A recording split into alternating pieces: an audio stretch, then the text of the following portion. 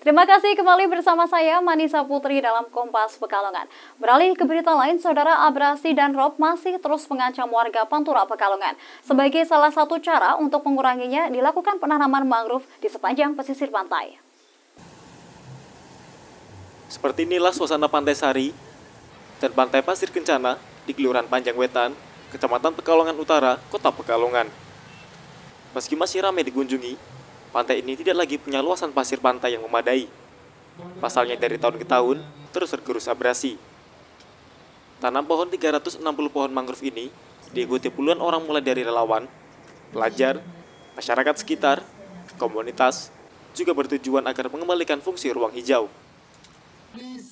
Wali kota mengatakan bahwa Pekalongan setidaknya harus punya 30% ruang terbuka hijau namun sampai sekarang baru mencapai target 18% di seluruh wilayah kota Pekalongan.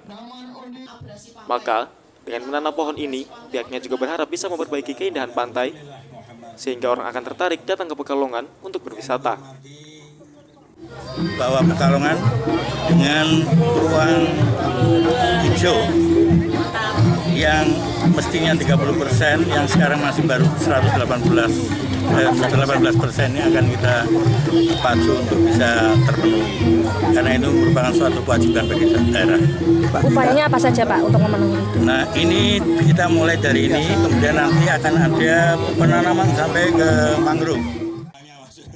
Salah satu pelajar relawan pecinta pohon, Mau, asal Kobe, Jepang, mengatakan bahwa dirinya ikut tergerak tanam pohon karena di dunia kini sudah sedikit sekali orang peduli akan pohon dan ruang hijau. Rencananya, pemerintah kota Pekalongan akan terus menggalakkan aksi tanam pohon ke sejumlah tempat lainnya, terutama untuk daerah pantai, sekaligus untuk menahan gelombang pantai dengan pohon mangrove agar bisa mengurangi dampak rob. Ari Himawan, Kompas TV, Pekalongan.